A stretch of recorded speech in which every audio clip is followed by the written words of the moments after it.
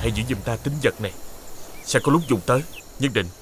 Nàng không được cho người ngoài biết Ta hẹn nàng ba con trăng nữa Ta sẽ trở về.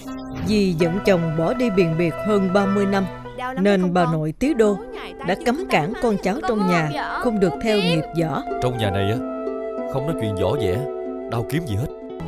Hầm võ tốt mà. Kho báu sẽ là của đệ. Người đã lừa ta liều mạng Để đoạt được tấm mật đồ này Sự